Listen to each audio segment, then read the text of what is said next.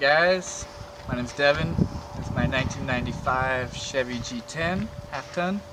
Originally stock, converted into a weekend camper van. Got 80,000 miles on it.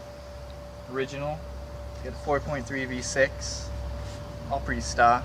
Didn't really have to do anything when I bought it. Just threw a new radi radiator in it. Some new plugs and wires and called it good. Bought it for $1,500, which is a steal I think especially because it's got the barn doors. Got the nice rocket box up top for storage on the Thule racks. Pretty much for all my soft goods and stuff like that, sleeping bags, backpacks, the big stuff, you know, keep them out of the interior, make it nice and clean, lots of room. Got a bike rack on the other side of the rack there. Just picked up a back ladder, like a van ladder. I'm gonna mount on the other side to be able to access the bike rack because it's pretty tall and I'm pretty short, so it's hard to get a bike up there. Got the uh, PVC pipe there for any fishing poles and uh, a couple hooks. You can throw up a tarp, awning out a tarp if it's gnarly out and raining and all that. So the interior I did all myself. It was uh, originally just stock metal, which is great because that's kind of the plan I, I wanted. See, I insulated all the walls, the floors, and the doors um, before putting up the quarter inch side panels here. Side panels, all the panels have this nice warm felt on them, which is actually really simple and turned out really well.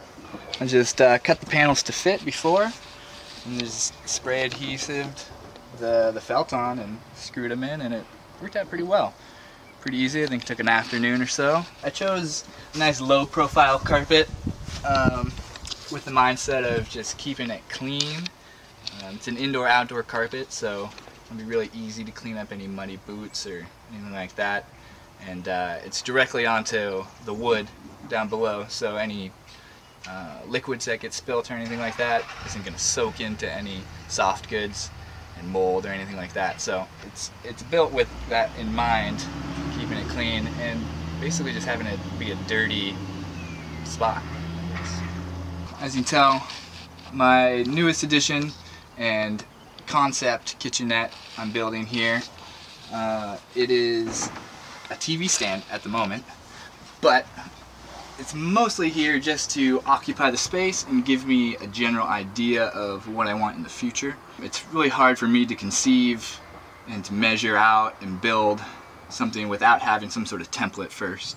So I threw this in here just to give me an idea of where I want everything to be and how things are going to function. So I'll kind of show you this right now. Basically, it's just stock storage underneath. Nothing too special. Have the countertop up here, which swivels out. We got a uh, marine seat bracket, swivel bracket under there. So this kind of poses as a table uh, and a cooking space, whatever you want to do. Sink, pretty straightforward. When I do rebuild, I'll install some sort of faucet in the corner there, either a hand pump, non-mechanical one, or a non-electric one, or do an electric pump um, and just really ball out. This guy also swivels all the way around. That way you can um, you know, set up a laptop and lounge out and watch a movie or just have it as a side table if you need. Under here is just storage at the moment. So we got some silverware, coffee maker, inverter, just some daily. As like I said, this is just temporary. So like my gray water bin is a gallon jug of water. But in the future, this will be expanded and quite a bit bigger. So I'll be able to have room for not only useful utensils and storage, but also nice gray and clean water storage as well. This thing will just get junked. I'll use that as measurements, salvage the bracket, the swivel mount inside, and just rebuilt it with nice veneered plywood. Stain it like I did most of the other interior wood, like the bench seat. So we'll move on to the bench. In the couch position right now, got a three inch high density foam mat on top, which is pretty comfortable. We got storage underneath. Swivels up, you can see the raw wood here. And I stained all the wood black up top to kind of match everything else. Nice long piano hinges. Really add more stability to the function. Three relatively large storage bays. Now, to convert, it's quite simple. All you really do, get this out of the way, two handholds here. Slide that bay out. That guy. And that folds out. Back moves up into an upright position to give a few more inches.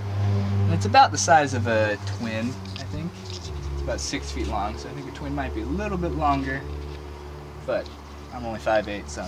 How it's mounted and everything, I got a piece of angle iron running this length here, 90 degree angle iron on both sides. Um, that actually, see here, it's mounted to the wall and the vertical struts as well as screwed into the wheel well.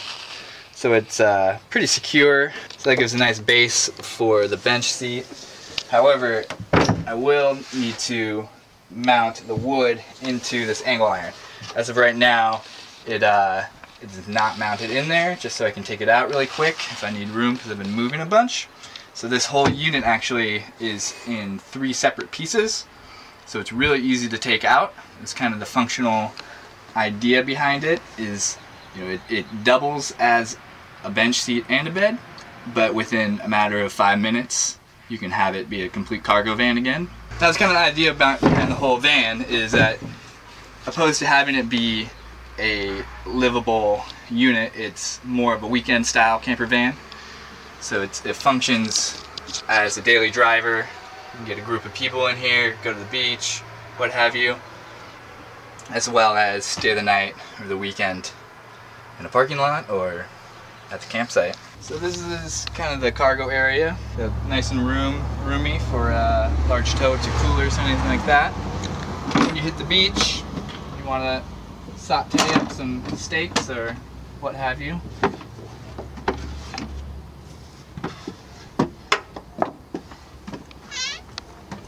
This folds down, gives you a nice cooking surface. We got storage on either side, lots open. Store all your junk and wilderness books, plants, and all the shelving bottoms come out. So including this one here, so you can access this bay down below where I keep my spare uh, my tools, my car jack and all that kind of stuff, jumper cables. Or if you had something long, I guess you could take out both. And, uh, really have access to this whole length as long as you stick it up in there. So it's on both sides. There's a clean shot of it without anything in here. Pretty basic. Got the speakers in set by sixes there. So in the future, depends on what direction I go. I like that it's a weekend style camper van. It uh, allows me to be very versatile.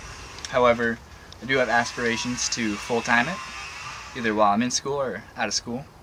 So if I do full-time it, there'll have to be some more mo modifications done to make that more feasible. But, you know, I'm in school right now, and so ideally, if I do full-time it, uh, this would be the best time because I have access to the college campus pretty much at all hours. Um, bathrooms, showers, uh, Wi-Fi. I can park relatively close to campus um, and use their Wi-Fi within my van. Um, I don't know about sleeping there, but so a lot of the amenities would be satisfied while I'm in school. So we'll see how that goes. Um, I'm on a lease right now, but I still have some time left during school. I'm looking to take it on some pretty sweet trips this summer.